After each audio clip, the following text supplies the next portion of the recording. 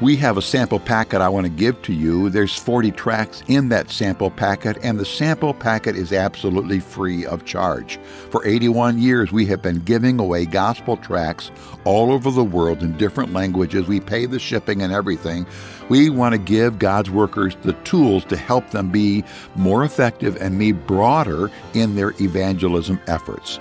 The particular gospel tract in my hand right now is entitled Charge It with a question mark. Charge it. It is the size of a credit card by design. Everybody knows what a credit card does. You go purchase something, you give your charge card, the purchase price is put onto your account. Well, that's what Jesus did when he died on the cross.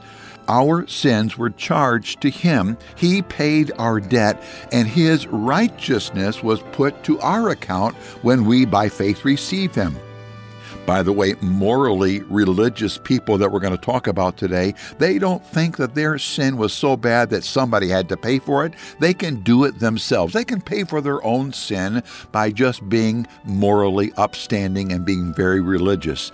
The backside of this simple gospel credit card tract is the simple plan of salvation with the Bible verses that will clearly lay out that Jesus Christ is the only way of salvation. Please I want to give you some gospel tools. They're gospel tracts. Let me do that.